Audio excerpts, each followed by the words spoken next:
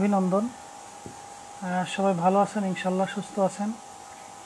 ভালো থাকেন, সুস্থ থাকেন, এই কামনায় আমরা আপনাদের জন্য ইনশাল্লাহ দোয়া করি। আল্লাহ সবাইকে ভালো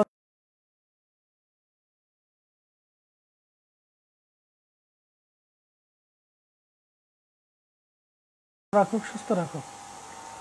প্রতিদিনের নিয়ে আজকেও আপনাদের মাঝে আপনাদের যাবতীয় প্রশ্নের উত্তরগুলি দেওয়ার জন্য ইনশাল্লাহ আজিজ, আমি তেনার নাম মৌলানা মুফতি সৈয়দ বাকিবিল্লা নুরি সাহেব, ব্রাহ্মণবাড়িয়া রানীখাট দরবার শরীফের সাহেবজাদা।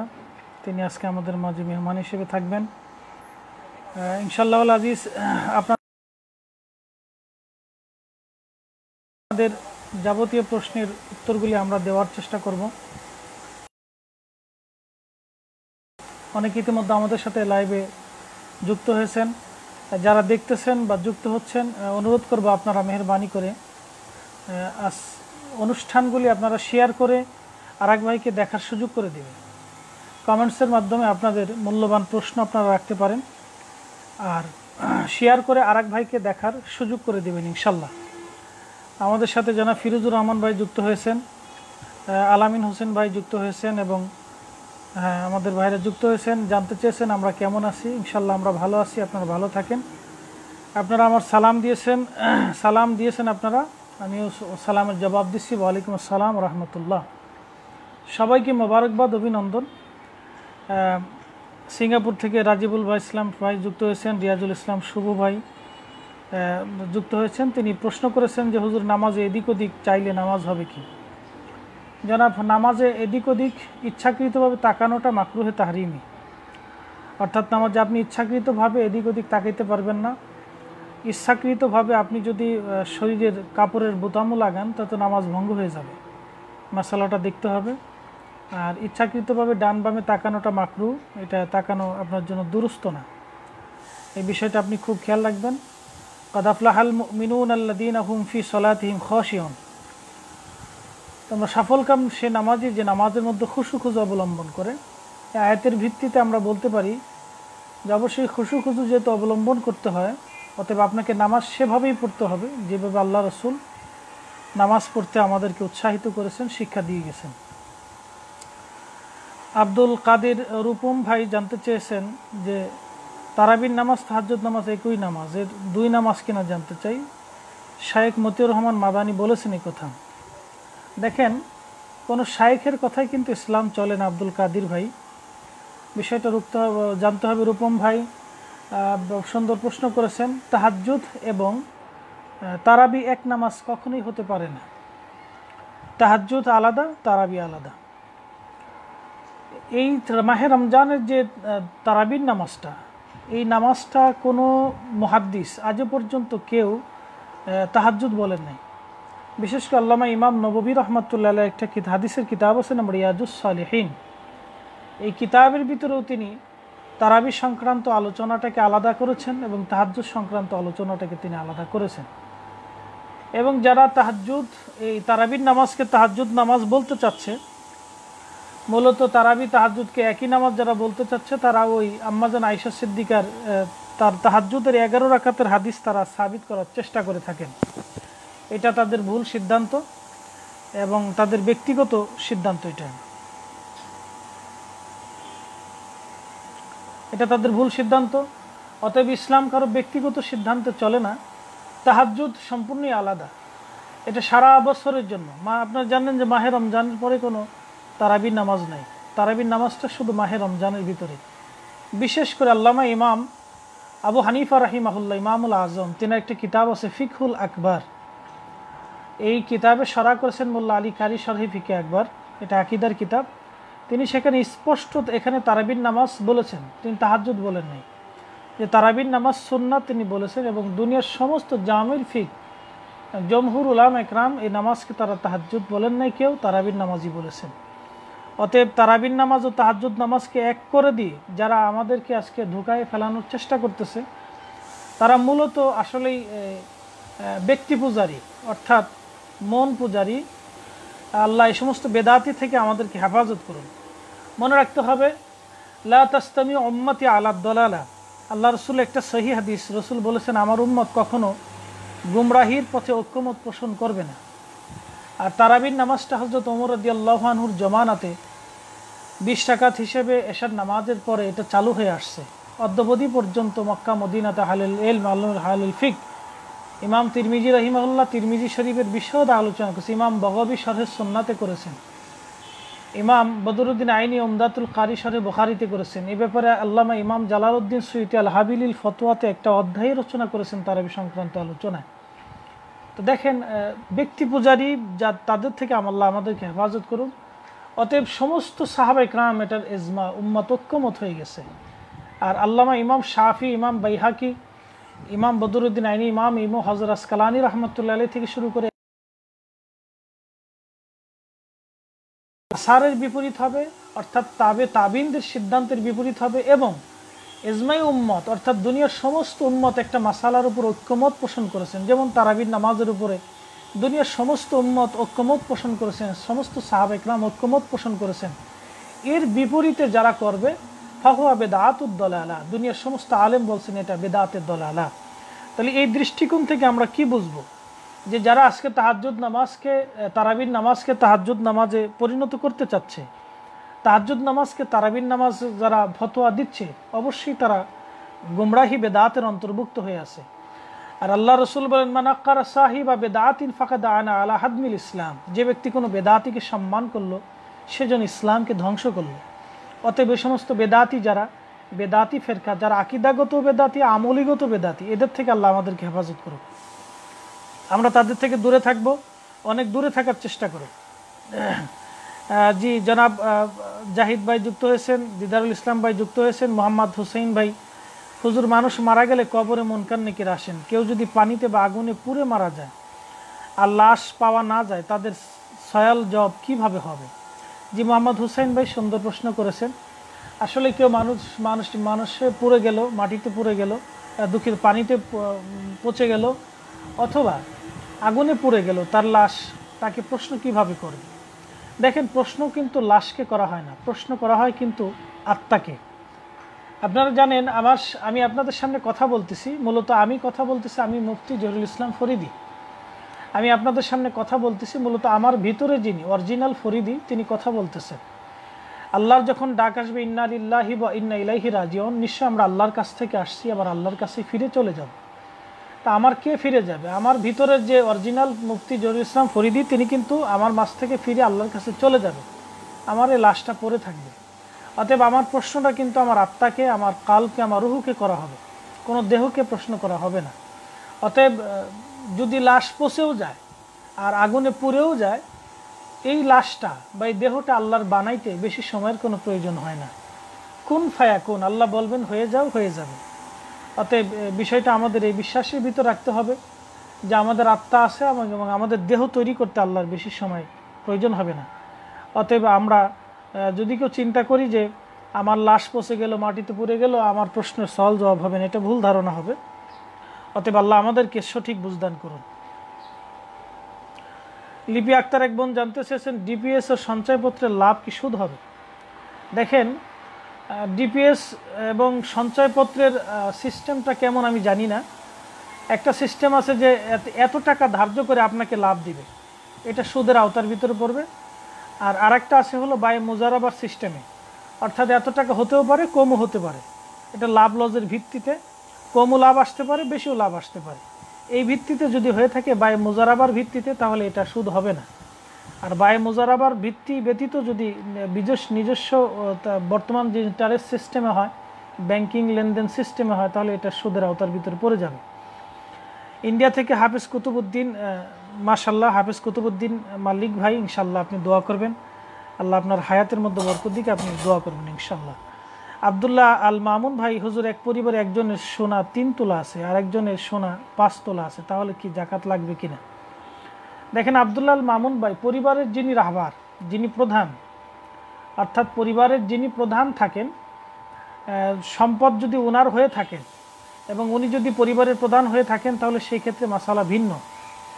আর একই পরিবারের যদি স্বর্ণ ভিন্ন জনের হয়ে থাকে এবং তারা তাদের নিজস্ব জিম্মায় থেকে থাকেন, তাহলে মশালাটা ভিন্ন। পাঁচতলা আছে সাড়ে পাঁচ তোলা পাঁচ তিন তোলা এবং পাঁচ তোলা।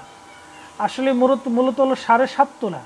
যাক আমাদের সাথে মুফতি বাকিবুল্লাহ নুরি ভাই যুক্ত হয়েছেন। সুপ্রিয়া নুরি ভাইকে স্বাগতম এবং মোবারকবাদ। আহ, পাঁচ তোলা এবং তিন মোট হলো সাড়ে সাত তোলা। অর্থাৎ পাঁচ এবং তিন আট তোলা। ও আচ্ছা পাঁচ আর তিন আট তোলা। ঠিক আছে আট তোলা হলে জাকাত ফরজ হয়ে যাবে। যদি দুইজনের হয়ে থাকে এবং মালিক যদি একজন থাকেন, তাহলে জাকাত দিয়ে দিতে হবে। কবিরুল শেখ ভাই জানতে চাইছেন ইউসুফের সাথে কি জুলাইখার বিবাহ হয়েছিল? জি, হয়েছিল। পাখি ইমন পাখি এক আইডি থেকে জানতে চেয়েছেন রমজানের মোবারকবাদ নবী হুজুর সাল্লাম জানাজার নামাজ হয়েছিল কিনা? ভাই জানতে চেয়েছেন যে হুজুর সাল্লামের জানাজার নামাজ হয়েছিল কিনা? আমার ভাই যিনি প্রশ্ন করেছেন, আসলে হুজুরের জানাজা হয়েছিল। আমাদের এই পদ্ধতিতে, এই সিস্টেমে আমরা যেই পদ্ধতিতে, যেই শরীয়তের রুলে আমাদের জানাজার নামাজ সাধারণত হয়ে থাকে, আল্লাহ রসুলের এই পদ্ধতিতে জানাজার নামাজ হয় নাই এবং রসুলের জানাজার নামাজে কেউ ইমামতি করে নাই। ইতিপূর্বেও আমরা এর প্রশ্নের জবাব দিয়েছি, আসলে এটা একটা ফেতনা নতুন তৈরি হয়েছে। মনে হচ্ছে এটা একটা নতুন একটা ফেতনা তৈরি হয়েছে। আমি তারপরেও নির্দিষ্ট নির্ভরযোগ্য হাওয়ালা থেকে দিচ্ছি। দেখেন আল্লামা ইমাম ইবনু কাসির একটা রেসালা করেছেন আল বেদার নেহার ভিতরে কাইফিয়াতি সলাতি আলাইহি সাল্লাহ আলহি আসাল্লাম অর্থাৎ হুজুর সাল্লাহ সাল্লামের জানাজা কীভাবে হয়েছিল? এখানে তিনি ইমাম অকিদির বরাতে এবং বিশুদ্ধ সনদে, ইমাম, বিশুদ্ধ সনদে ইমাম ইবনু কাসির রাহিমাহুল্লাহ তিনি একটা সনদ এনেছেন একবারে সহি সনদে এবং রসুল সাল্লামের জানাজা হয় নাই। ইমাম, ইমামতি কেউ করে নাই, তারিখুল ইসলামীতে আল্লামা ইমাম শামসুদ্দিন জাহাবির রহমতুল্লাহ আলাই তিনি একই কথা লিখেছেন। এবং কি আল্লামা ইমাম জালালউদ্দিন আব্দুর রহমান সৈয়দি রাহিমাহুল্লাহ তিনি শরহে মুয়াত্তার ভিতরে তিনি একই কথা বলেছেন। এবং যে সহি বিশুদ্ধ সনদে ইমাম ওয়াকিদি রাহিমাহুল্লাহ তিনি বিশুদ্ধ সনদে হাদিস আনছেন যে আল্লাহ রসুলের এন্তেকাল হয়ে গেল। এন্তেকাল হয়ে যাওয়ার পরে হুজুর সাল্লাহ আলী সাল্লাম এর কাফন মোবারক পরানো হলো রওজা শরীফের ভিতরে। বর্তমান যেখানে রওজা শরীফ, এটা আম্মাজান আয়সা সিদ্দিকা রদি আল্লাহ আনার হুজরা মোবারক ছিল। এখানে তার কবর, বর্তমান রওজা শরীফ খনন করা হলো। রওজা শরীফের পাশে হুজুর সাল্লামের লাশ মোবারক রাখা হলো। এক জমাত সাহাব একরাম সেখানে ঢুকলেন, ফাকাল, আসসালামু আলাইকু আসসালামু আলাইকা ইউহান নবী ও রহমতুল্লাহি এখানে এক জমাত সাহাবা একরামের ভিতর দাখালা আবু বকর ও আমর রাদি আল্লাহ আনহুমা, মাহুমা নাফার মিনাল মুহাজিরিন বল আনসার। হাদিস এইভাবে আসছে যে একদল মুহাজির আনসার হজরত ওমর এবং আবু বকর রাদি আল্লাহ মানুষ সাথে তারা ঢুকলেন। তারা রসুলকে সালাম দিলেন, আসসালামু আলাইকা ইউহান নবী রহমতুল্লাহ বারাকাতু আসাল্লাম আল মুহাজিরুন আল আনসার, কামা সাল্লাম আবু বকর ওমর, সুম্মা সুফু সুফুফান লাইয়া উম্মুহুম আহাদ। দেখেন, হাদিসের সনদটা এইভাবে, হাদিসের মতনটা এইভাবে যে আল্লাহ রসুলের সাহাবাইকরাম মহাজিরা রসুলকে সালাম দিলেন, আনসাররা রসুলকে সালাম দিলেন। কিন্তু রসুলের লাইয়াম মুহুম আহাদ রসুলের ইমাম জানাজার নামাজের ইমামতি কেউ করেন নাই। যার যার মতো রসুলকে সালাম দিলেন, ফাকাল আবু বকর, ওমর, হুমা সাফিল আওয়াল তারা হজরত আবু বকর, ওমর রদি আল্লাহানু রসুলের সামনে দাঁড়িয়ে বলতে লাগলেন, যে আল্লাহ ইন্না শাহাদু আন্না কদ বাল্লাগা মা উনজিল ইলাইকা ওয়া নাসাহা আলি উম্মাতিহি ওয়া জাহাদা ফি সাবিলিল্লাহি। হাত্তা আজ্জাল্লাহি দীনাহু ওয়া তাম্মাত কালিমাতুহু ওয়া উমিনা বিহি ওয়াহদাহু লা শারীকা লাহু ফাজআলনা ইলাহানা মিম্মান يتبع القول الذي أنزل معه واسمع بيننا وبينه حتى تعرفه بنا وتعرفنا به فإنه كان بالمؤمنين رؤوفا رحيما এই যে তিনি এই কথাগুলি রসুলকে বলতে লাগলেন আল্লাহ রসুলের লাশ জেসেম মুবারকের সামনে নিয়ে তখন ফায়াকুল উন্নাস যত সাহাবাইকরাম মহাজির আনসার ছিলেন সবাই তখন তারা বলতে লাগলেন আমিন আমিন রুজুন ওখান থেকে কেউ বের হয়ে আসলেন, কেউ ঢুকলেন, কেউ পুরুষরা গেলেন সুম্মান নিসা এরপরে মহিলারা গেলেন সুম্মা সিবিয়ান এরপরে যুবকরা, বালকরা গেলেন। অকিদ গেলেন না হোম সাল্লু আলিহি মিম্বা আদি জাবাল ইয়াউমিল ইসলাম এভাবে রসুল পাকের জানাজার নামাজ যার যার মতো, তার তার মতো সালাতু সালাম পরে চলে আসতে লাগলেন। এটা হলো বিশুদ্ধ কথা। ইমাম ওয়াকিদির বরাতে, ইমাম ইবনু কাসিরের বরাতে, আল্লামা ইমাম শামসুদ্দিন জাহাবির বরাতে, আল্লামা ইমাম সৈয়দির শারহে মুয়াত্তার বরাতে আমি বিশুদ্ধ সনদে আপনাদেরকে হাদিসটা জানাইলাম। ইমাম ইবনু মাজার সহি সনদে হাদিসটা আসছে যে রসুলের জানাজার ইমামতি কেউ করেন নাই। এখন বিষয় হলো কেউ যদি ব্যক্তিগত পূজারি হয়ে অর্থাৎ নিজের মন গড়া কথা বলে থাকেন, তাহলে সেটা কখনোই ধর্তব্য হবে না। অতএব হুজুরের জানাজা আমাদের এই পদ্ধতিতে হয়নি, কেউ ইমামতি করেন নাই। যেন যিনি ইমামুল মুরসালিন, তার ইমাম কে করে, তার জানাজার ইমামতি কে করবেন? ধন্যবাদ ভাইকে। রিয়াজুল ইসলাম শুভ ভাই যে এক আইডি থেকে ইমরান ভাই জানতে চেয়েছেন, জোর করে বিয়ে দেওয়ার নিয়ম আছে কি? জনাব, জোর করে বিয়ে দেওয়ার নিয়ম ইসলামে নাই। এটা সম্পূর্ণই ভুল একটা থিওরি। যদি মেয়ে প্রাপ্তবয়স্ক হয়, অর্থাৎ বাকেরা হয়ে যায়, তাহলে সেই ক্ষেত্রে মেয়ের ইচ্ছার উপরে অনেক অনেক কিছু নির্ভর করে। আপনি গার্জিয়ান যিনি থাকবেন, তিনি মেয়ের কাছ থেকে এজাজত নেবেন, তার ইচ্ছা নেবেন, তার পছন্দ নেবেন। আসলে জোর করে ইসলামে বিয়ে দেওয়ার যে প্রথাগুলি, এগুলো আগের জমানাতে মানুষ অনেকে জোর করে করতো, এগুলো ঠিক না। মেয়ের একটা ইচ্ছা থাকে, তার বা, স্বাধীনতা থাকে। অতএব আল্লাহ রসুলও পর্যন্ত হজরত ফাতেমা রাদি আল্লাহ আনহার বিবাহের ব্যাপারে তার ইচ্ছা তিনি গ্রহণ করেছিলেন। এমনকি রসুলে পাকের জীবনীতে দেখা যায় সাহাবাই রামের জীবনীতে দেখা যায়, ইচ্ছার উপরে অনেক কিছুই গ্রহণ করে, করেছেন সাহাবাই রাম অতএব ইচ্ছার বিরুদ্ধে করাটা এটা এটা ঠিক না। এটা শূন্য বিরোধী কাজ। বসির লস্কর ভাই জানতে চেয়েছেন আসামে একজন আলিম বলেছেন আহ, পাঁচক্ত নামাজ পড়ে তারা তাহাদ তাহাজুদ পাঁচক্ত নামাজ না পড়ে তারা তাহাজুদ নফল পড়বে তিনি তান কীভাবে লিখেছে? বসির লস্কর ভাই আপনার এই প্রশ্নের বিষয়টা পরিষ্কার না আমি বুঝতে পারিনি আপনাদের আস- আসলে আসামে সিলেটের কিছু ভাষা আছে আমরা সিলেটের অনেক ভাষা বুঝি না আপনি যদি একটু পরিষ্কার করে লিখতেন আমার জন্য সুবিধা হতো। মোহাম্মদ হুসেন ভাই, হুজুর, মানুষ মারা গেলে কবরে মনকার নাকিরা আসেন? আচ্ছা এই প্রশ্নের জবাব দিয়ে দিছি। আলফাজ রবিউল ভাই জানতে চেয়েছেন, এতে কাপ বসা অবস্থায় যদি পরিবারে কেউ অসুস্থ থাকে বা কেউ মারা যায়, তাহলে কি যাওয়া যাবে? দেখেন, এতে কাপ অবস্থায় যদি কেউ পরিবারের লোক মারা যায় বা তার জানাজার নামাজে অংশগ্রহণ করতে পারবে কি না এই বিষয়টা আসলে একটা জটিল বিষয়। আর যিনি এতে কাপে থাকেন তার বিশেষ প্রয়োজন ছাড়া ঘরের বাইরে যাওয়ার সুযোগ নেই। তিনি একবার দেখার জন্য যেতে পারেন, অথবা তাকে দেখানোর জন্য মসজিদে লাশ নিয়ে আসাটাই সবচেয়ে উত্তম হবে। আর যদি ওই মসজিদের বাসিন্দার যদি হয়ে থাকেন, বা এলাকার যদি পরিবারের কেউ নিজস্ব পরিবারের হয়ে থাকেন, তাহলে তার জানাজার নামাজটা অর্থাৎ মসজিদের আশেপাশে দিলে তিনি এতে কাবে অবস্থায় জানাজাতে হয়তো শরিক হতে পারবেন। বিষয়টা খেয়াল রাখার দরকার। আলামিন হোসেন ভাই ঈদের নামাজ কি ঘরে পড়তে পারব? যে আলামিন ভাই যদি সরকার বা যে কোনো রাষ্ট্র যে কোনো অঞ্চলে যদি ঈদের নামাজ একান্তই পড়তে দেওয়ার কোনো সুযোগ না থাকে, একান্ত যদি পড়তে না দেয়, তাহলে সেক্ষেত্রে ঘরের ভিতরে ঈদের নামাজ পড়ার কোনো সুযোগ নেই। আসলে যদি একান্তই কোথাও জামাত না হয়ে থাকে, তাহলে অন্তত চার একাত নফল নামাজ তারা আদায় করে নেবেন। এটা একটা মতামতে ফতোয় স্বামীতে আসছে। কিন্তু তারপরও চেষ্টা করতে হবে জামাত প্রতিষ্ঠিত করার জন্য। যদি কোনো অঞ্চলে দিয়ে না থাকেন, তো আশা করা যায় ঈদের নামাজে অন্তত কিছু হলেও সময় সুযোগ সরকার, যে কোনো দেশ বা সরকার করে দিবে।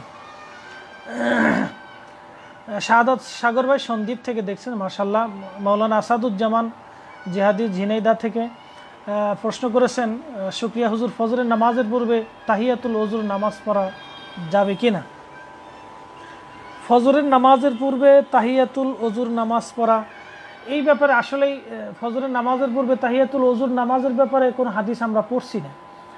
এই ব্যাপারে যতটুকুন বেশি বেশি সম্ভব হাদিস বর্ণিত হচ্ছে এইভাবেই যে হুজুর সাল্লাহ সাল্লাম ফজরের তাহাজুদ নামাজ শেষ করার পরে ফজরের আজানের অপেক্ষা করতেন। আজান পড়ে গেলে আল্লাহর হাবিব হুজরা মোবারক থেকে তিনি মসজিদে প্রবেশ করতেন। দুরাকাত সুন্নত নামাজ আদায় করে রসুল ফজরের নামাজের জন্য অপেক্ষা করতেন। তাহিয়াতুল ওজুর নামাজ পড়ার ব্যাপারে আল্লাহ রসুলের দিক নির্দেশনা আমাদের হাদিসে আমরা পড়ি পড়ি নেই। যদি কেউ পড়ে থাকে, তাহলে পড়ার কোনো সুযোগ, কোনো বিধান বা আল্লাহ রসুলের জীবনে পড়ার কোনো বিষয় আমাদের হাদিসের নজর আসে নাই। যত হাদিস আসছে হজুসাল্লাম ফজরের সন্ন্যত পরে বসে থাকতেন। ফজরের ফজরের সন্ন্যত নামাজ পরে আল্লাহ রসুল বসে থাকতেন।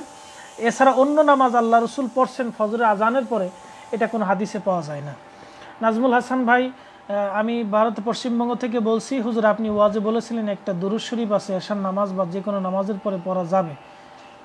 আমি হয়তো খেয়াল নাই নাজমুল হাসান ভাই, যে দুরুজ শরীফটা আপনি পড়তে পারেন আল্লাহ সাল্লি আলা সৈয়দিনা মোহাম্মদি ওসিলাতিলাইকা ওয়ালিহি ওয়াসাল্লিম আপনি দুরুজ শরীফটা এশার নামাজের পরে ঘুমানোর আগে পড়তে পারেন ওটা বরকতময় একটা দুরুজ শরীফ। আনোয়ার হোসেন ভাই নাদিম জানতে চেয়েছিলেন, হুজুর, জানতে চাই ইতিকাফের আদি ইতিহাস কি এবং কীভাবে চালু হয়েছিল? আচ্ছা ইতিকাফের বিষয়টা আল্লাহ রসুল সাল্লামের জমানা থেকে চালু করেছেন, হজুর সাল্লাম জান্নাত ভাই জানতে চেয়েছেন, দরবারে কি গিয়ে আপনার লেখা সব কিতাব পাওয়া যাবে? যে আমাদের যাবতীয় সমস্ত লেখা কিতাব দরবার শিবি লাইব্রেরিতে ইনশাল্লাহ পাবেন। লিটন মিয়া ভাই তিনি জানতে চেয়েছেন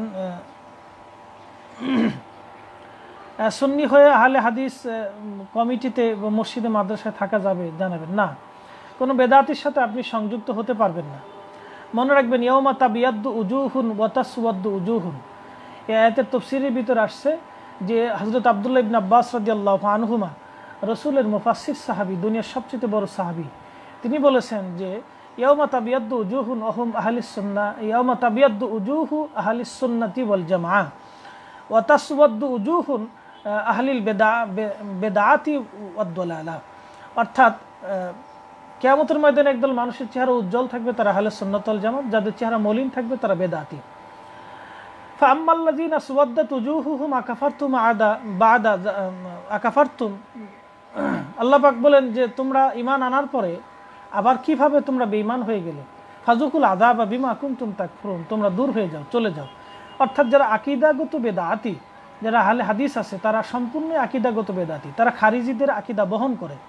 অতএব তাদের থেকে আমাদেরকে সম্পূর্ণই আলাদা থাকতে হবে চেষ্টা করতে হবে তাদেরকে সঠিক পথে আনার জন্য। তাদের প্রতিষ্ঠানগুলিতে আপনি যদি সংযুক্ত থাকেন, তাহলে ওই যে সেই রসুলের সে কথা হয়ে গেল ফাকাদ কি বলে? মানাক্কারা সাহি বা বেদাতিন ফাকাদ আনা আলা হাদমিল ইসলাম, যে কোনো বেদাতিকে সম্মান করল, সে যেন দিনকে ধ্বংস করল। অতএব আহ, আহলে হাদিসটা সম্পূর্ণই একটা বেদাতি ফেরকা। অতএব তাদের থেকে আমাদেরকে দূরে থাকতে হবে তাদেরকে সহযোগিতা করা আমাদের উচিত হবে না। মোশারফ হোসেন ভাই দুবাই থেকে দেখতেছেন। মেহেদি হাসান সোহেল ভাই নারায়ণগঞ্জে আমাদের একজন প্রিয় ভাই যিনি সালাম দিয়েছেন ইনশাল্লাহ ভালো আছেন। মেহেদি ভাই ভালো থাকবেন। জাহিদ ভাই হুজুর আমরা যে মাজার জিয়ারত করি কিছু আলেম বলে এটা নাকি করা না যায় এ বিষয়ে জানতে চাই। দেখেন জাহিদ ভাই এটা সম্পূর্ণই তাদের মন গড়া সিদ্ধান্ত। মাজার বা কবর জিয়ারত করে এটা রসুলের সুন্না আল্লাহ রসুল বলছেন নাহি তুকুম আং দিয়ারতিল কবর ফাজু রুহা তোমাদেরকে কবর জিয়ারত আগে নিষেধ করতাম, তোমরা অত্যধিক পরিমাণে কবর জিয়ারত করো। হজরতে আম্মা ফাতিমাতু জাহরা দি আল্লাহ আনহা, তিনি ম- মদিনার থেকে প্রত্যেক জুমার দিনে হাওদায় চড়ে, উঠের পিঠে চড়ে তিনি সুদূর অহুদের ময়দানে যে হজরত আমির হামজারা দি আল্লাহ আনার মাজার জিয়ারত করতেন। সুদূর মক্কাতে জান্নাতুল বাকিতে যে রসুল আম্মা জানা, খাদিজাতুল কুবরা দি আল্লাহ আনহার মাজার জিয়ারত করতেন, কান্নাকাটি করতেন। ওহুদে রসুল পাক জিয়ারতে প্রত্যেক বছরে যাইতেন। সুযোগ পাইলে আল্লাহ রসুল জান্নাতুল বাকিতে যে জিয়ারত করতেন। অতএব জিয়ারত করাটা একটা রসুলের সুন্না তরিকা। এটাকে যারা বেদাত বলবে, তারা সম্পূর্ণই বেদাতি ফেরকা। অর্থাৎ রসুলের সিদ্ধান্তের বাহিরে তাদের মন গড়া সিদ্ধান্ত দিয়ে দেওয়ার জন্য আমরা তাদেরকে অবশ্যই বেদাতি বলব, তাদের থেকে আমরা দূরে থাকব। সাদ্দাম হোসেন ভাই জানতে চেয়েছেন, হুজুর, মসজিদের ভিতরে বহুত মানুষ একসাথে খাবার খাওয়া যাবে কিনা?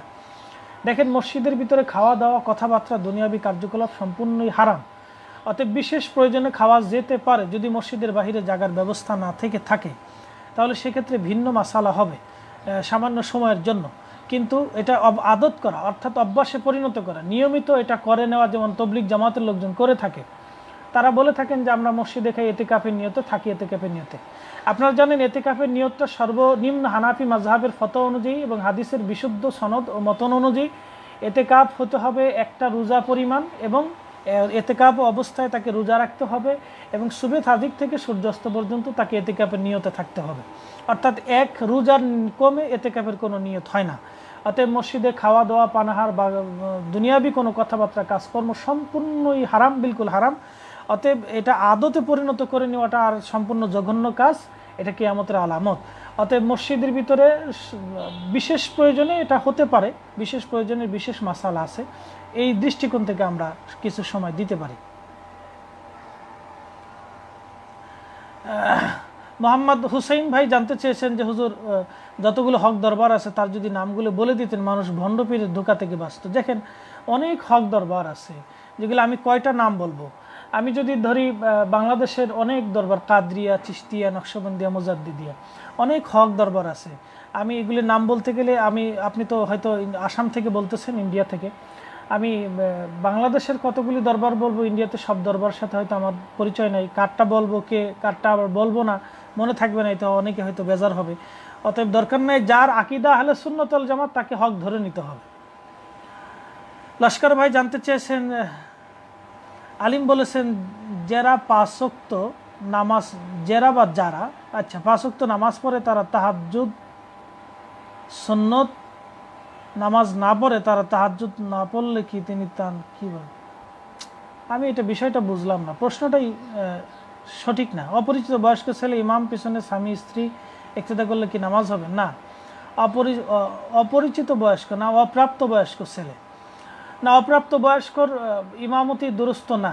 এটা সম্পূর্ণই নিষিদ্ধ। তার ইমামতি মাকরুহে তারিমি অপ্রাপ্ত বয়স্কর পিছনে ইক্তেদা হবে না। শরীফ আজাদ ভাই, আসসালামু আলাইকুম। হুজুর ভালো আছেন? আমার একটা প্রশ্ন, আমরা যে ফরজ নামাজ পড়ি, ফরজ নামাজ শেষ বৈঠকে আত্মাহিয়াত দুরুশ্রী দোয়া মাসুরাত দোয়া পরে বর্তমান সমাজের কিছু লোক বলে, যে আত্মাহিয়াত দুরুশ্রী পড়লে নামাজ হবে আপনাদের মতামত জানতে চাই। দেখেন, শরীফ আজাদ ভাই প্রশ্নটা অপরিষ্কার। তারপরেও আপনি যদি নামাজ শেষ বৈঠক, অর্থাৎ আপনি আত্মাহিয়াত পড়েছেন তাসাহুদ পড়েছেন, এরপরে দুরুশি পড়েছেন দোয়াই মাসরা পড়ছেন। অবশ্যই নামাজ হয়ে যাবে। যারা বলবে নামাজ হবে না, তাদের ভুল থিওরি, ভুল ফতোয়া। এটা মোটেও অনুচিত এটা একদম কি বলে আপনার, সম্পূর্ণ বিভ্রান্তিকর ফতোয়া। অতএব যিনি ফতোয়া দিয়েছেন, তিনি ভুল দিয়েছেন তো না জেনে দিয়েছেন। সঠিক পথের দেশে আইডি থেকে জানতে চেয়েছেন, কয়জন পীরের কাছে বায়াত হওয়া যাবে? দেখেন, আপনি কয়জন শুধু না আমাদের আকাবের দিনদের জীবনী থেকে দেখতাম, তারা অনেক পীর মাসাইকদের বায়াত অনুসরণ করেছেন। তবে একজনের কাছে ধরে তার শিক্ষা দীক্ষার উপরে অবিচল থাকাটাই উত্তম। আমাদের বর্তমানে যে সিচুয়েশন হয়েছে, মানুষ তো এখন মানে আত্মা পূজারি হয়ে গেছে, অর্থাৎ মানুষ সবাই নাফস পূজারি হয়ে গেছে। অর্থাৎ একজন পীরের কাছে বায়াত নিয়ে তার দিক নির্দেশন অনুযায়ী পথ চলাটা, এটা আমাদের জন্য অনেক ভালো। বারবার পীর পরিবর্তন করলে দেখা যায় মানুষের মস্তিষ্ক মন পরিবর্তন হয়ে যায়।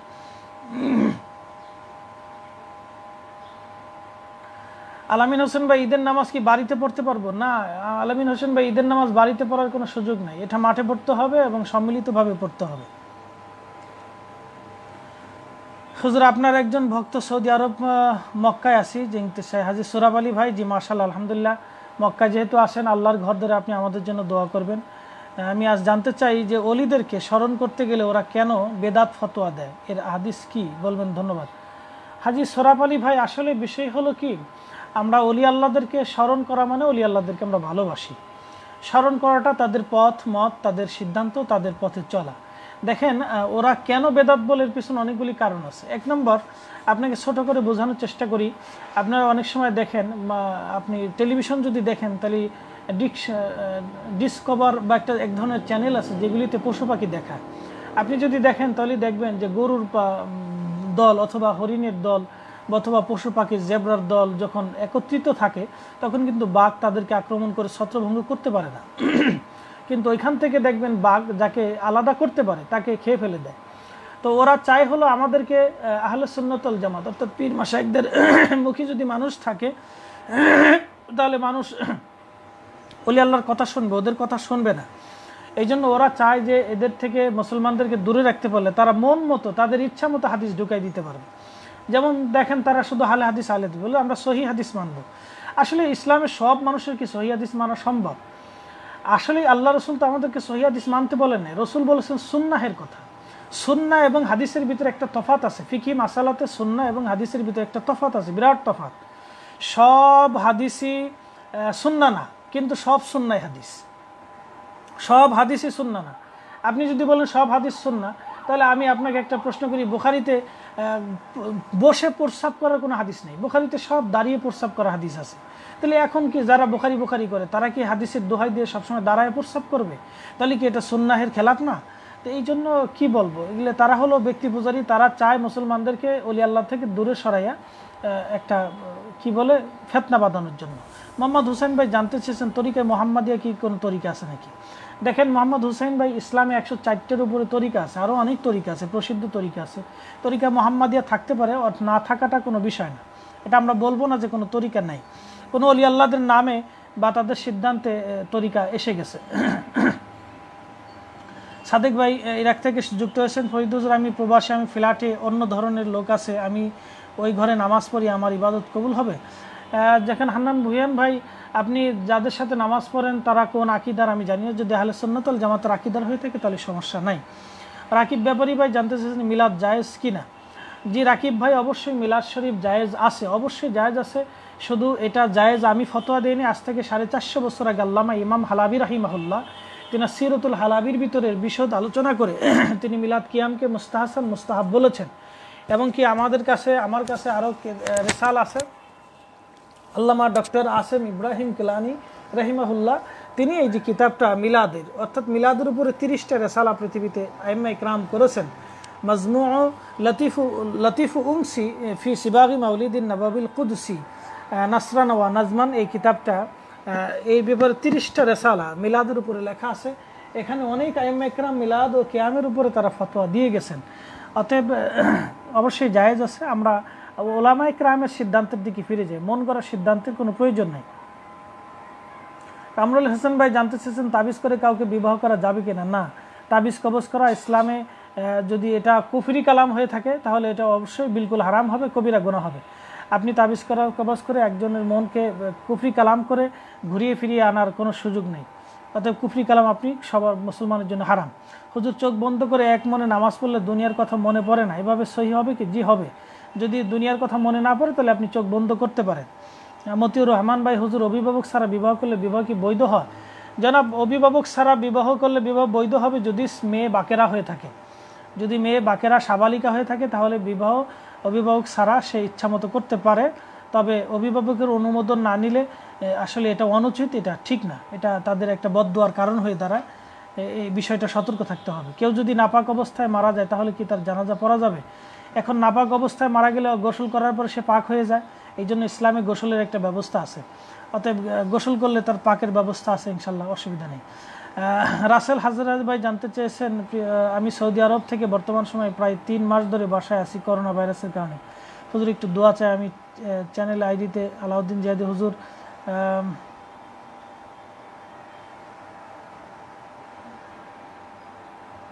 আব্বাসী হুজুর, এরশাদ বখারি হুজুর, আবুল কাশেম ফজল হক হুজুর আপনাকে দেখতে চাই।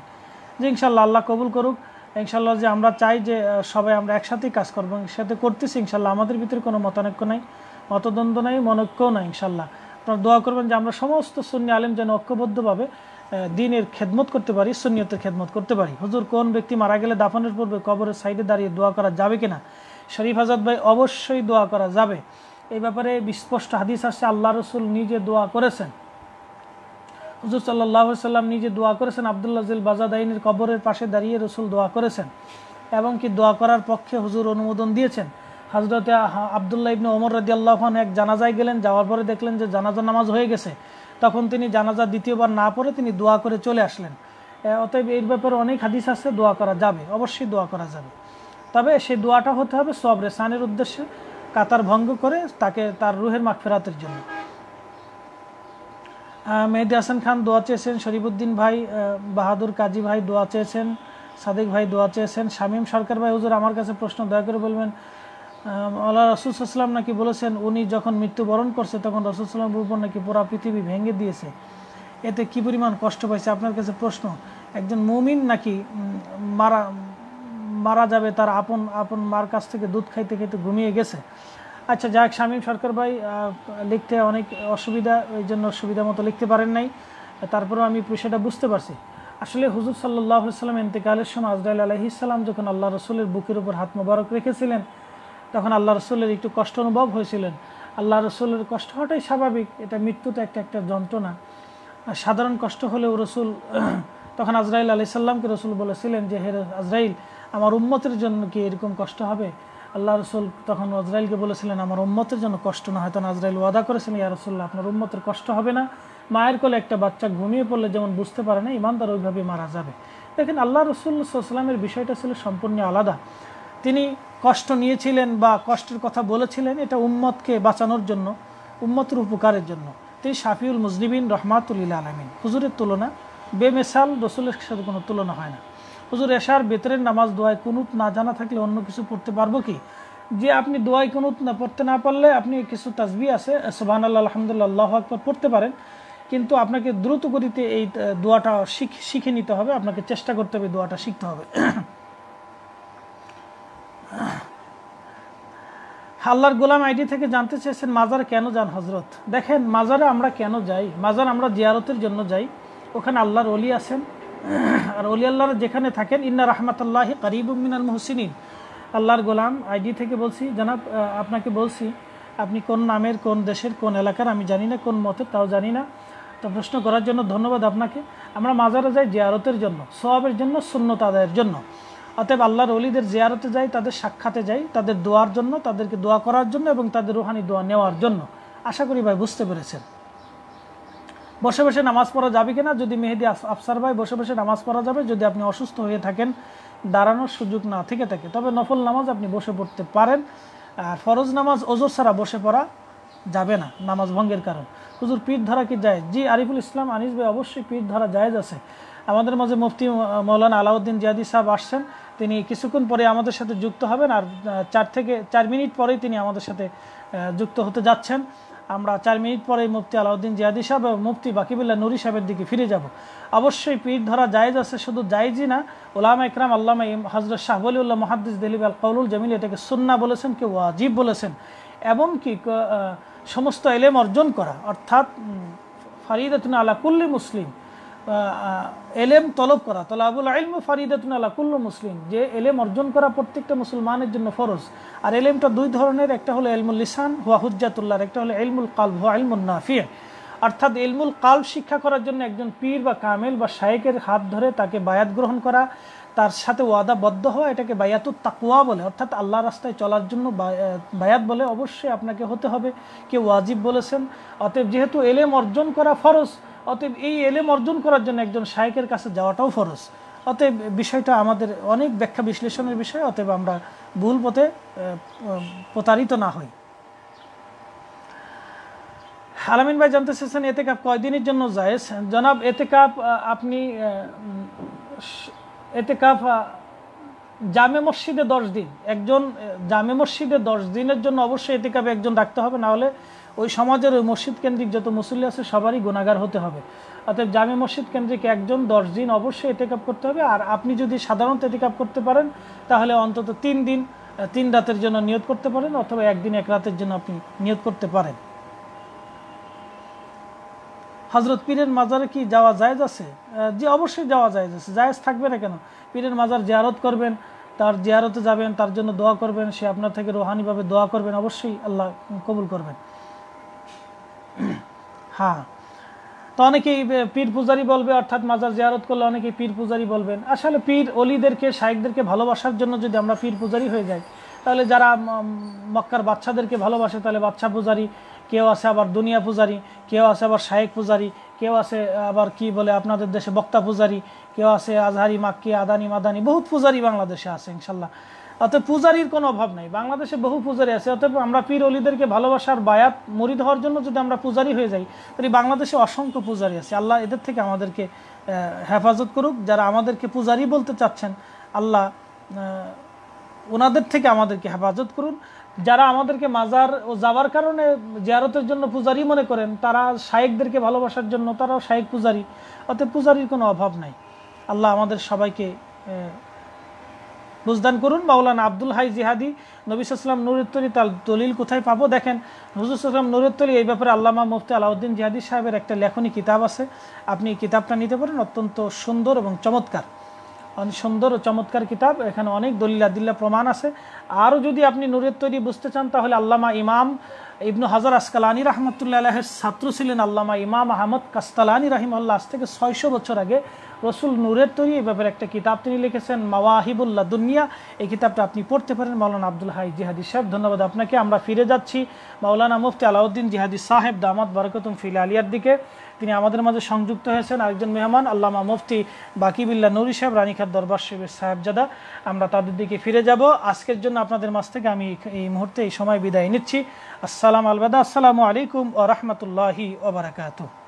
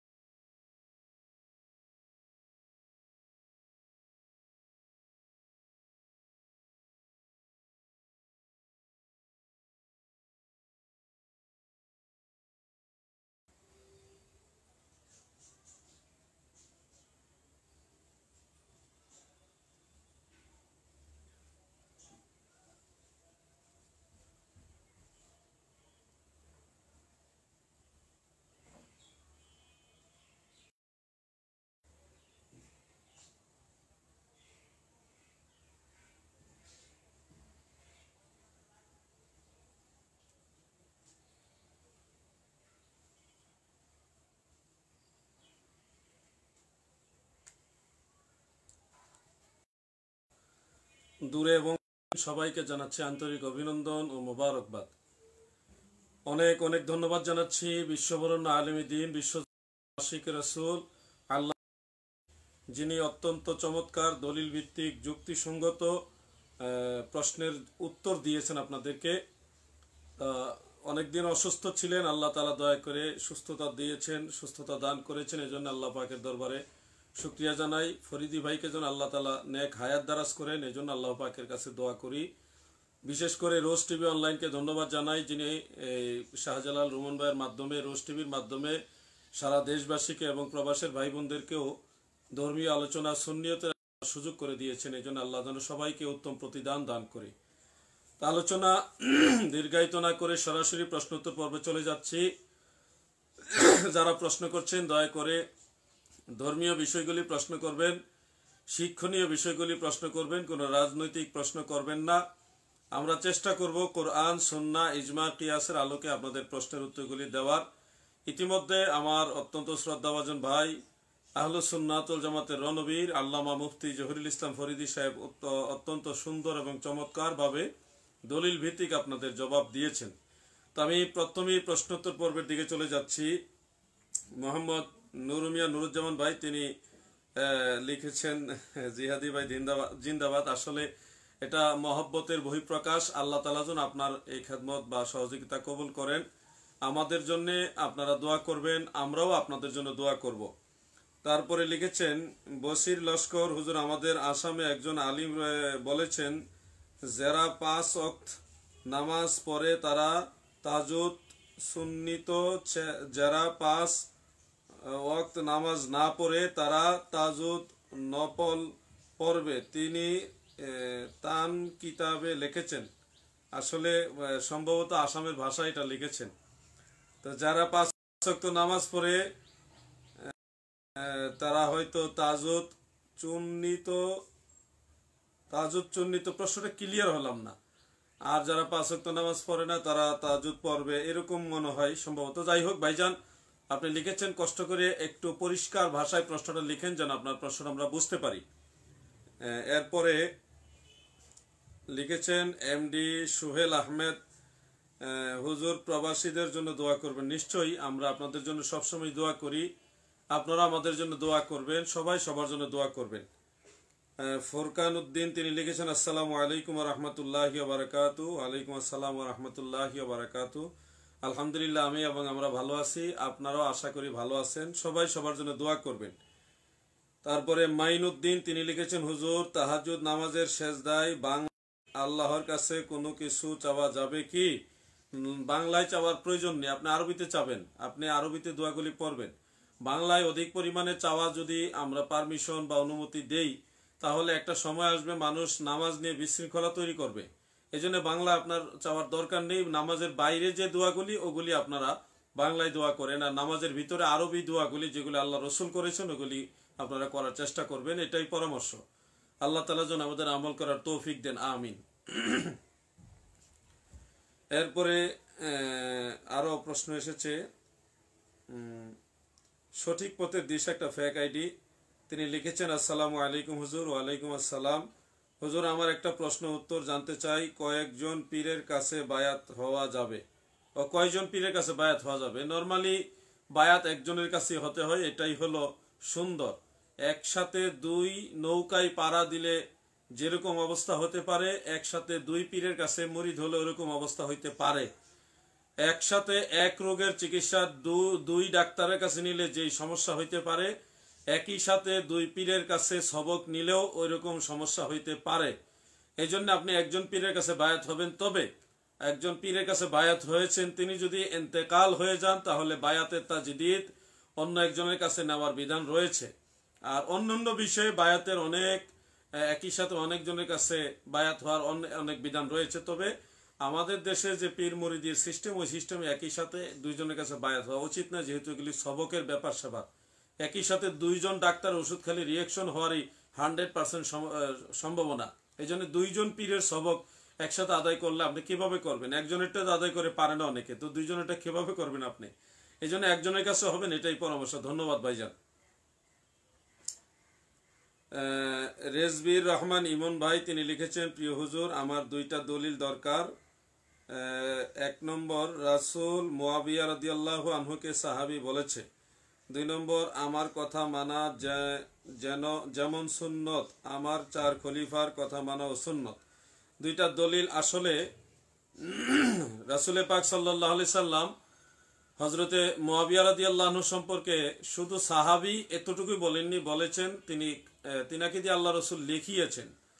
ওহি লিখিয়েছেন, চিঠিপত্র লিখিয়েছেন, যেটা সহি মুসলিম সহ অন্য শুধু সাহাবি, এটা তো একটা মর্যাদা অবশ্যই, কিন্তু সাহাবির উপরে যিনি কাতিবে ওহি ওটা আরও ঊর্ধ্বতম মর্যাদা। এই জন্যে সহি বুখারির মধ্যে রইসুল মুফাসসিরিন আব্দুল ইবনে আব্বাস আনহু পাক পর্দা নেওয়ারও পরে, আল্লাহর হাবিব এন্তেকাল শরীফের মাধ্যমে পর্দা নেওয়ারও পরে হজরত ইবনা আব্বাস রাদিয়াল্লাহু আনহুমা আমিরে মুয়াবিয়া রাদিয়াল্লাহু আনহুকে ফকিহ বলেছেন এবং সাহিব রসুলিল্লাহ বলেছেন, আল্লাহ রসুলের সাহাবি বলেছেন।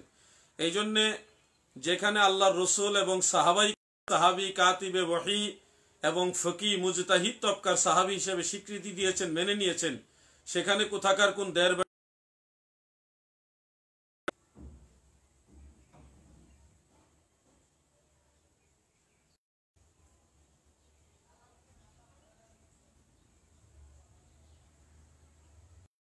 আরবি ঠিক মতো দেখে দেখে পড়তে পারে না। বাংলা পড়তে গেলে মুখে বেজে যায়। তাদের কথায় অনুপ্রাণিত হয়ে বিভ্রান্ত হওয়ার কোনো কারণ নেই। আমি আপনাদের মাধ্যমে আজকের এই রোজ টিভির মাধ্যমে সারা দেশবাসীর সমস্ত সুন্নি তরিকতপন্থী মুমিন মুসলমান সমস্ত যুব সমাজ আপনাদেরকে অনুরোধ করব, আপনারা যার তার কথা অনুপ্রাণিত হয়ে আপনার আল্লাহ রসুলের সাহাবিদের বিরুদ্ধে কথা বলবেন না। আহলে বাইতকে ভালোবাসেন, অবশ্যই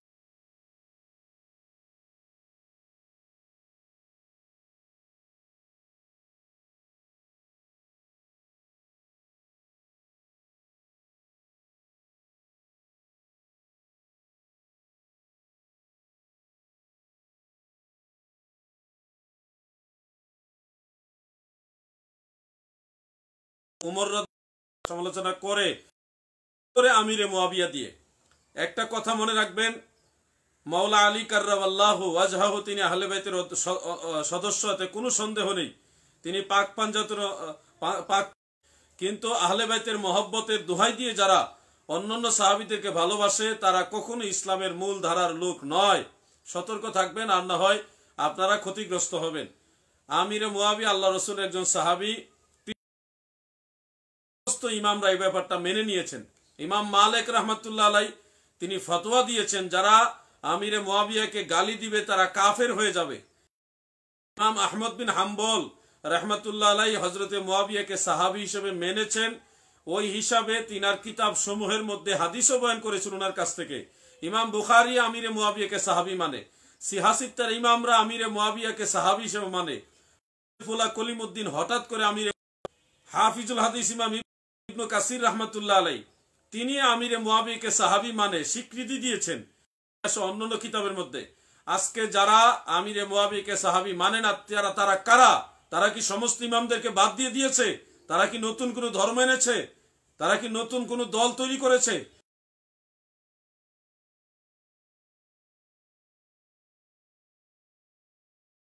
আমাদের নতুন ধর্মের দরকার নেই। আমরা সুন্নাতুল জামাতের লোক আমরা ইসলাম ধর্মের লোক। আমাদের ধর্ম নতুন নয়, আমাদের ধর্ম পুরান আমাদের আকিদা আহলু সুন্নাতুল জামাত, এটাও নতুন অনেক পুরান আহলু সুন্নাতুল জামাতের আকিদার যিনি ইমাম ইমাম আবুল হাসান আশারি রহমতুল্লাহ আলাই তিনি পরিষ্কার আমিরে মুয়াবিয়ার বিষয়টা সাহাবি এবং তিনি ইস্তেহাদি খাতা করেছেন, সেটা মুস্তাহিদ হিসেবে সেটা একটা সোয়াব পাবেন।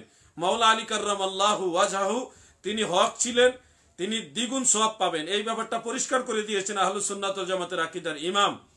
হজরত মুজাদ্দিদ আল ফিসানি রহমতুল্লাহ আলাই আলা হজরত আহমদ রেজা খান ফাজলে বেরলবী রহমতুল্লাহ আলাই অন্যান্য ইমামরা এই বিষয়ে পরিষ্কার করে দিয়েছেন। অতএব আমিরে মুয়াবিয়াকে যারা সাহাবি মানবে না, তারা হলো সুন্নাত নয়, তারা সুন্নি নামের শিয়া। তাদেরকে বয়কট করুন। রাষ্ট্রীয় পর্যায়ে, জাতীয় পর্যায়ে, সর্বমহল থেকে তাদেরকে বয়কট করে দিন। আর না হয় তারা ইমান নষ্ট করে দিবে।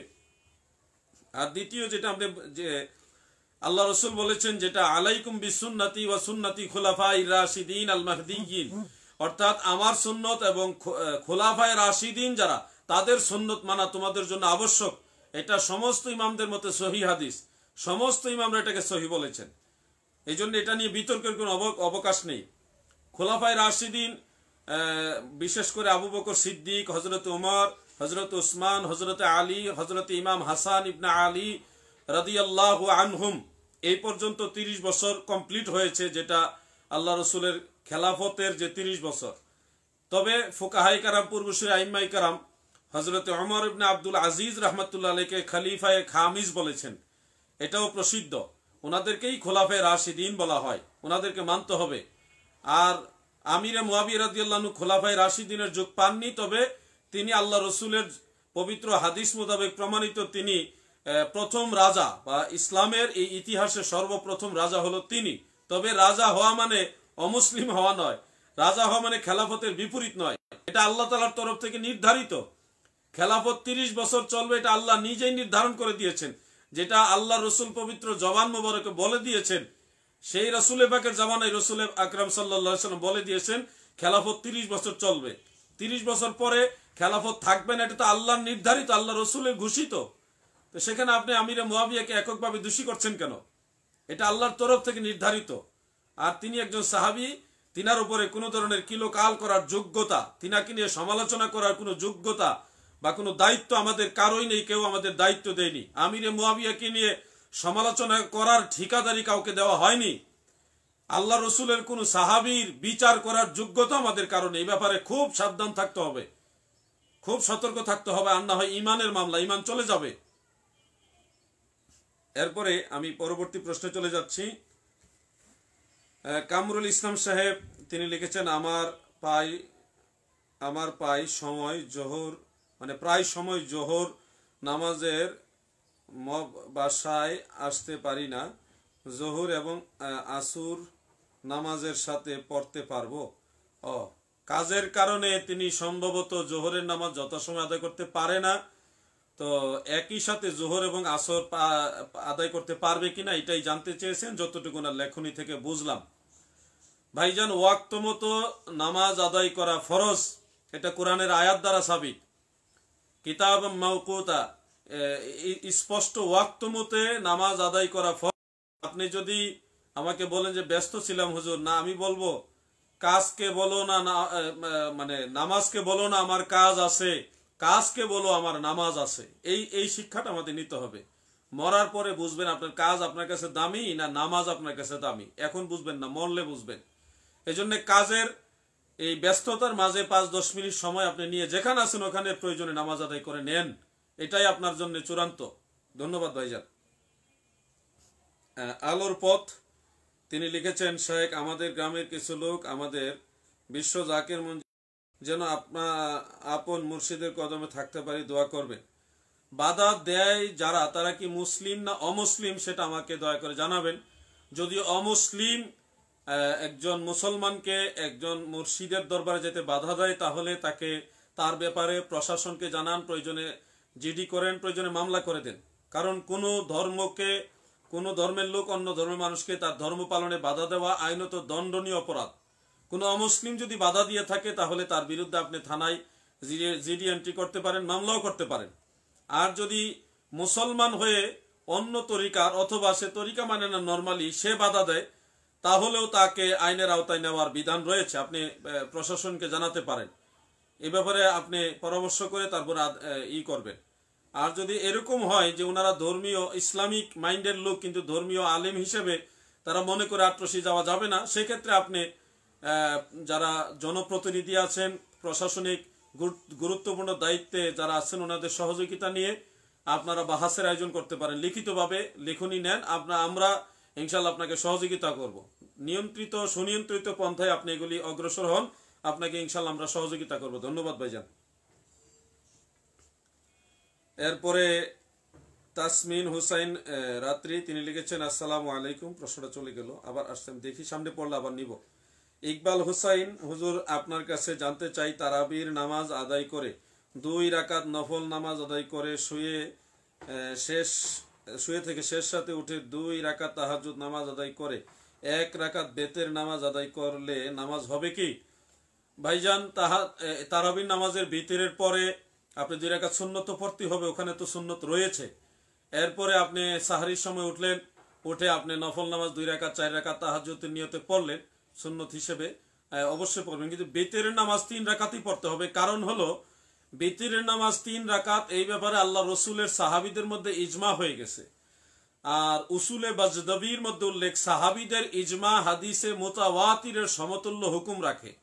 এজন্য আপনি যদি বিতেরের নামাজ তিন রাকাত বাদ দিয়ে অন্য সিস্টেমের উপরে থাকেন, তাহলে আল্লাহর রসুলের সাহাবিদের ইজমা এর বিপরীত দিকে আপনি চললেন। সাহাবিদের পথ হলো জান্নাতের পথ, সাহাবিদের পথই নবীর পথ। সাহাবিদের পথই হলো সিরাতুল মুস্তাকিম। অবশ্যই আপনি তিন রাকাত বিতের পড়বেন, আর সাহাবিদের ইজমাকে আনকার করে আপনি যদি এক রাকাত বিতের চালু করেন, তাহলে আপনি বিদাতি বলে গণ্য হবেন। কারণ রাসুলের পাক সাল্লাহ সাল্লামের অনুসরণের ব্যাপারে সবচেয়ে বেশি উত্তম ব্যক্তিত্ব যারা ছিল, তিনারা ছিলেন আল্লাহ রসুলের সাহাবিগণ। সাহাবিগণ যেখানে তিন রাকাত বিতিরের ব্যাপারে ঐক্যমত পোষণ করেছেন, সেখানে আপনি দ্বিমত পোষণ করার কে?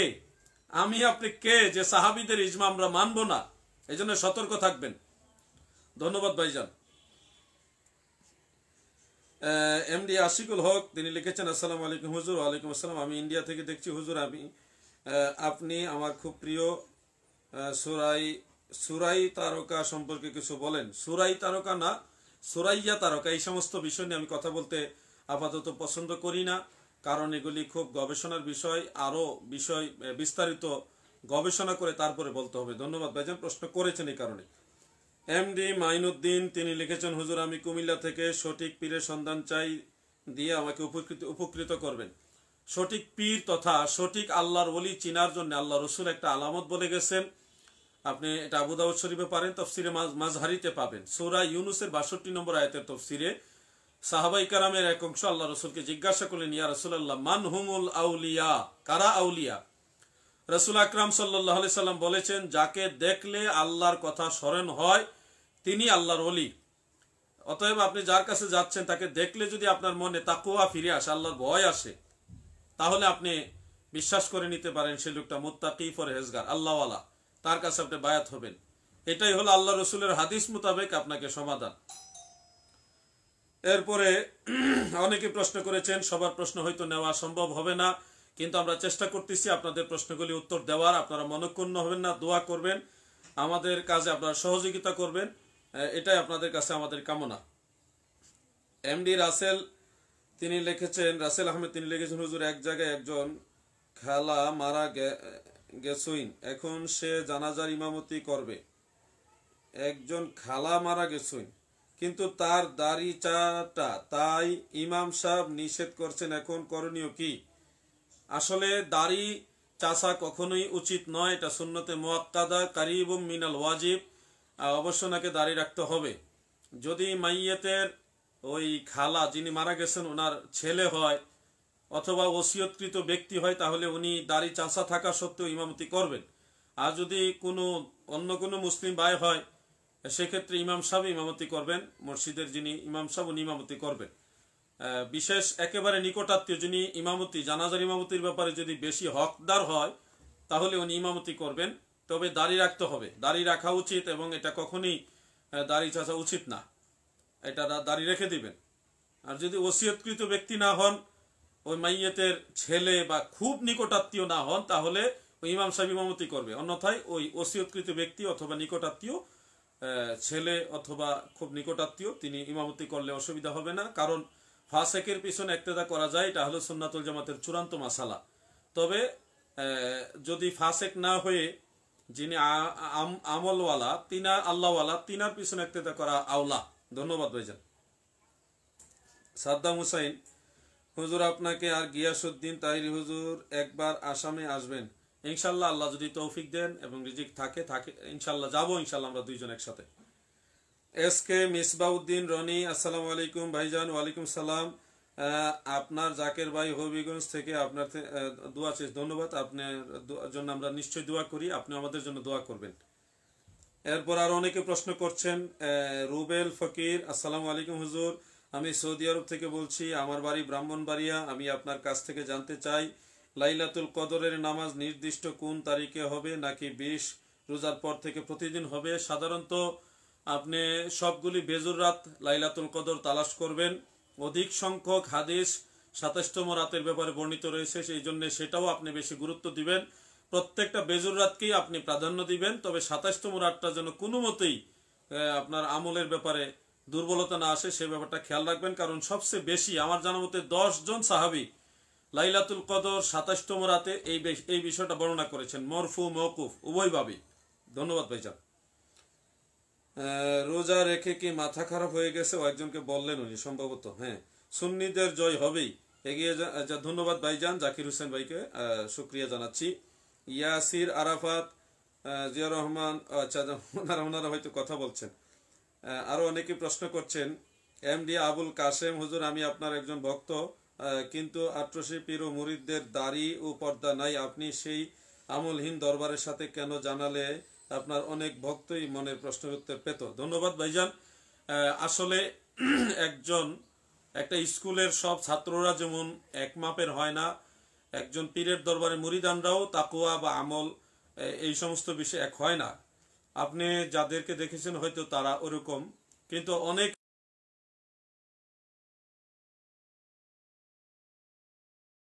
কি আছে যারা সুন্নতের পাবন্দি সুন্নতের উপর আমল করেন?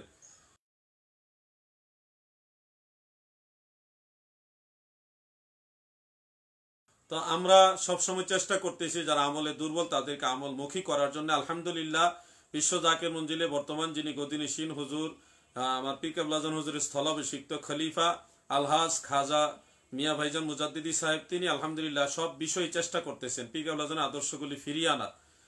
আমার পি কেবলাজন সম্পূর্ণই সুন্নতের পাবন্দি ছিলেন। তিনি আহলু সুন্নাতুল জামাতের আকিদার লোক ছিলেন, হানাফি মাজহাবের লোক ছিলেন এবং তরিকায় নাকশবন্দিয়া মুজাদ্দিদিয়ার লোক ছিলেন। বিদায়।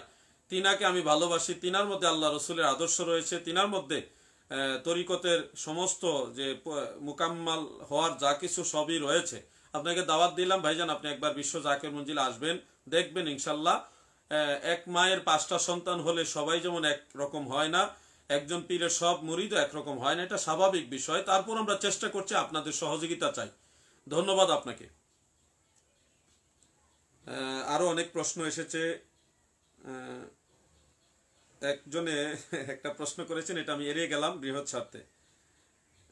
প্রিয় মানে লিখেছেন আমি একটু ই- দেই যে জাকের পার্টি করবে নাকি কর্মী গ্রুপ করবে সেটা তার ব্যক্তিগত এখতিয়ার। তবে সে যদি হুজুর পাকের মুরিদ হয়ে থাকে তাহলে অবশ্যই দরবারমুখী হবে।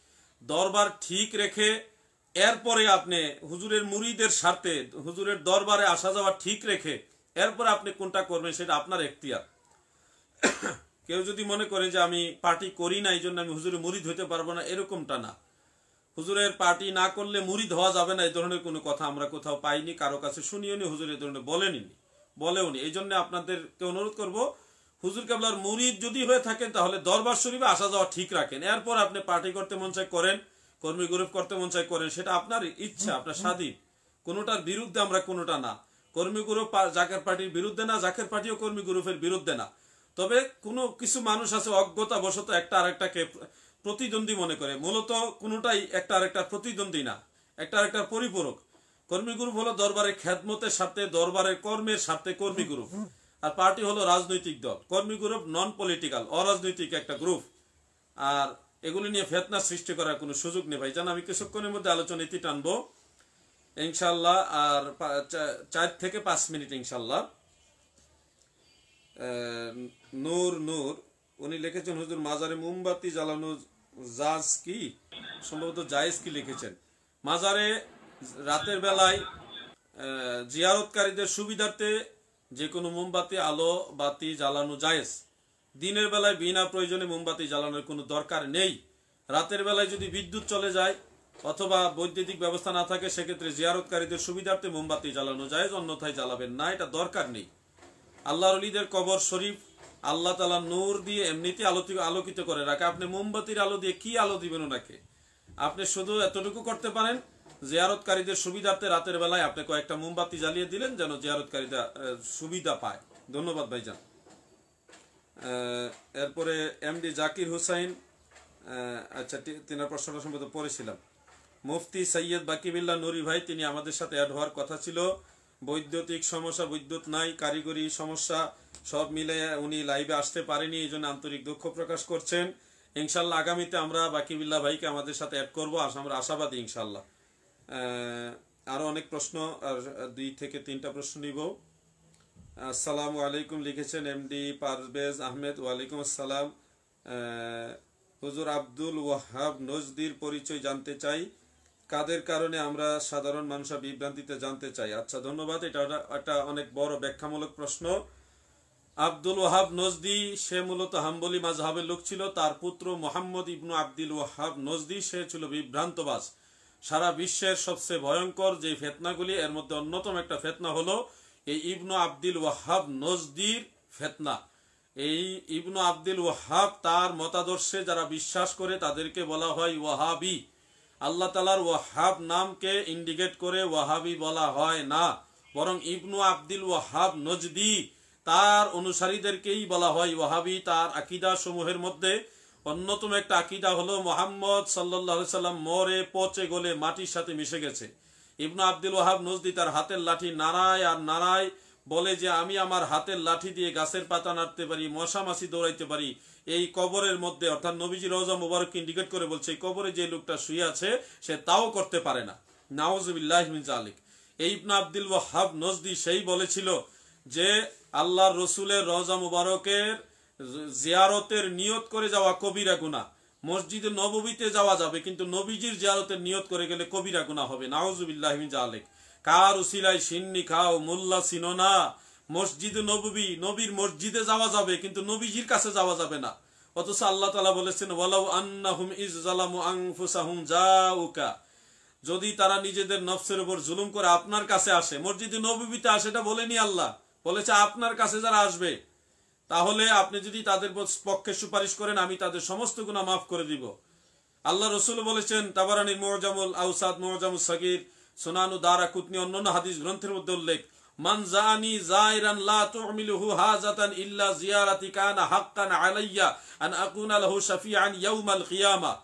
অর্থাৎ যে আমার কাছে আসবে শুধুমাত্র জিয়ারতের জন্য, অন্য কোন উদ্দেশ্য নয়। তাকে হাসরের ময়দানে সাফাত করা আমি রসুলের জন্য আবশ্যক, ওয়াজিব হয়ে যাবে। সুবহান আল্লাহ এই জন্য এই ইবনু আব্দুল ওয়াহাব নজদি, সে একজন ভয়ঙ্কর ফেতনাবাস তার মতাদর্শের লোকদেরকে ওয়াহাবি বলা হয়। ওয়াহাবি চিনার আলামত হলো, ওয়াহাবি শব্দটা উচ্চারণ করলে যে রেগে যাবে, গুসা করবে, প্রতিবাদ করবে, সেই হলো ওয়াহাবি। ওয়াহাবি বললে যে রেগে যায়, সেই হলো ওয়াহাবি, কোনো সন্দেহ নেই। ধন্যবাদ ভাইজান। আর একটা প্রশ্নের উত্তর দিচ্ছি, এরপরই আমরা চলে যাব বিশ্ব জাকির মঞ্জিল, পাক দরবার শরীফের আলিয়া কামিল মাদ্রাসার ছাত্র মৌলবী আব্দুল আউয়ালের কাছে। আশা করছি সে সুন্দর, সুরেলা কণ্ঠে আল্লাহর হাবিবের নাতে রসুল শোনাবেন। কিছুক্ষণের মধ্যে তিনি আমাদেরকে নাতে রসুল শোনাবেন। সর্বশেষ প্রশ্ন আমরা নিচ্ছি, দেখি কার প্রশ্নটা নেওয়া হয়নি। অনেকগুলি প্রশ্ন আমরা উত্তর দিয়ে দিয়েছি। একটা প্রশ্ন, নামাজ, নামাজের সাথে সম্পৃক্ত। লিখেছেন মাইনুদ্দিন ফারুকি ভাই। আসসালামু আলাইকুম হুজুর, ওয়ালাইকুম আসসালাম। আমি দুই রাকাত তারাবি নামাজ শেষ করে তারপরে ভুলে দাঁড়িয়ে গেলাম। তখন সুরা ফাতেহা তেলাওয়াত করলাম। তখন আমার খেয়াল এসেছে যে আমি দুই রাকাত করে ফেলেছি। এই মুহূর্তে আমি কি করব? আপনি ওই এক রাকাত পূর্ণ করে আপনি বসে যাবেন এবং সেজদায় সাহু দিবেন, যেহেতু এটা অনিচ্ছাকৃত ভুল। ওই এক রাকাতটা যে রাকাত আপনি দাঁড়িয়ে গেছেন ভুলে, ওইটা পরে তারপরে আপনি ওই তাসাহুদ পরে দরুদ শরীফ দয় মাসের উপরে সালাম সেজদায় সাহু দিবেন এবং এরপরে সালাম দিবেন। এটাই হলো বিধান। ধন্যবাদ যারা আমাদের সাথে এড ছিলেন। সবাইকে আন্তরিক কৃতজ্ঞতা জানাচ্ছি। রোজ টিভি অনলাইনকে আপনারা সাবস্ক্রাইব করবেন। এই এই প্রোগ্রামে এই চ্যানেলের প্রোগ্রামগুলি আপনারা শেয়ার করবেন। সবাই সবার কাছে পৌঁছে দিবেন। আলবিদা। আসসালামু আলাইকুম রহমতুল্লাহি আবরাকাতু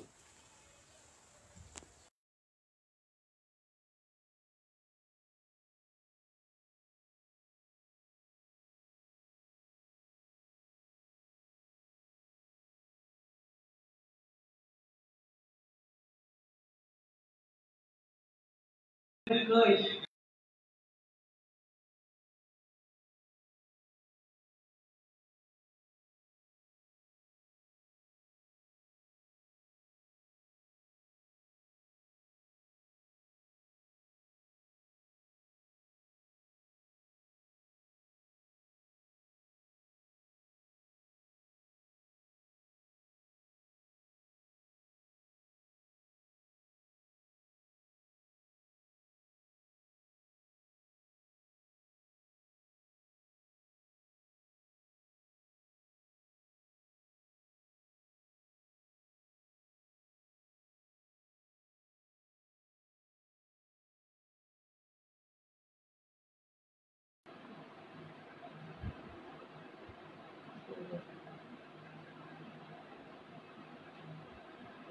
আসসালামু আলাইকুম ওয়া রাহমাতুল্লাহি ওয়া বারাকাতুহু।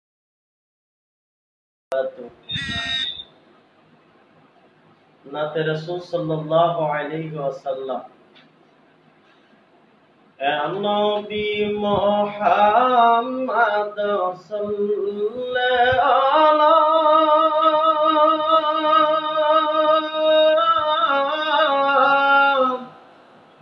তোমার শেখায় তালায় গো তোমার দুরুদের শেখায় তালায় নবী ইয়া নবী মুহাম্মদ সাল্লাল্লাহু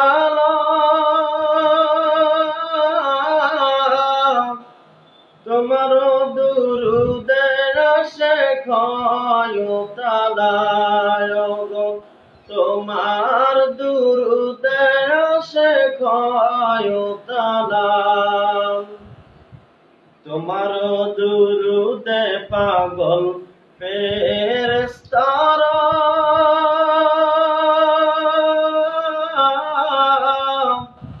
তোমার দুরুদ পড়ে আল্লাহ তোমার দুরুদ পড়ে আল্লাহ তালা নবী। নবী মুহাম্মদ সাল্লাল্লাহু আলা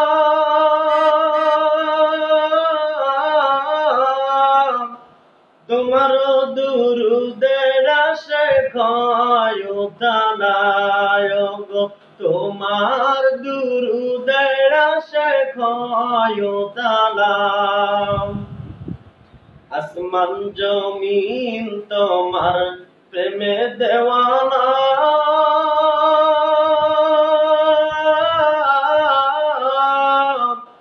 দিদার চায় আশক কামলিওয়ালায়। দিদার চায় আশক কামলিওয়ালায় নবী ইয়া নবী মুহাম্মদ সাল্লাল্লাহু আলা তোমার দুরুদের শেখায় তালায় গো তোমার দুরুদের শেখায় তালাম তোমার দুরুদ পড়ে আল্লাহ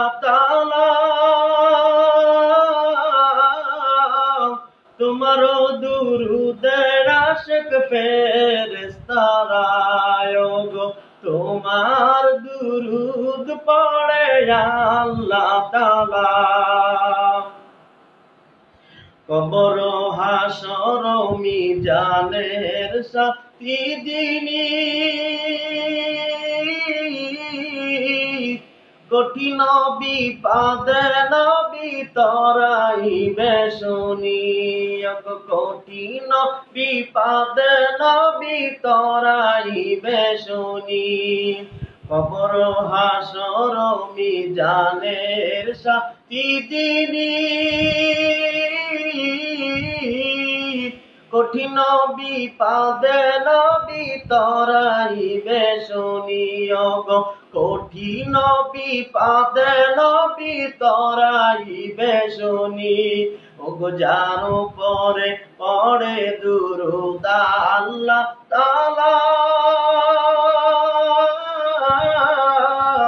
যার পরে পড়ে দুরুদ ফেরেস্তারায় যার পরে পড়ে দুরুদ ফেরেস্তারায়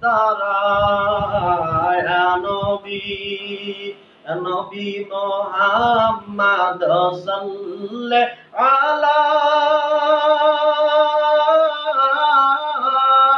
তোমার দুরুদের শেখায় তোমার দুরুদ পড়ে ফেরেস্তারাম যখনই ওঠে আসে কের প্রেমেতে জ্বালা,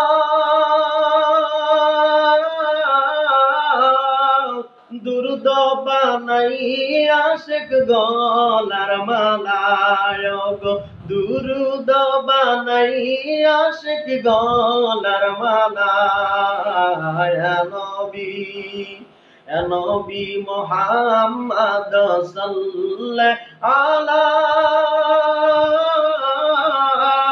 তোমার দুরুদের খয়ুতালার গো তোমার দুরুদের সে খয়ুতালা তোমার দুরুদে পাগল ফেরেস্তারা তোমার দুরুদ পড়ে আল্লাহ তালায় তোমার দুরুদ পড়ে আল্লাহ তালায় নবী। নবী মোহাম্মদ সাল্লে আলা তোমার দুরুদের সে খয়ুতালায় গো তোমার দুরুদ পড়ে আল্লাহ তালা নবী। আসসালামু আলাইকুম রহমতুল্লাহি আবরাকাতুহ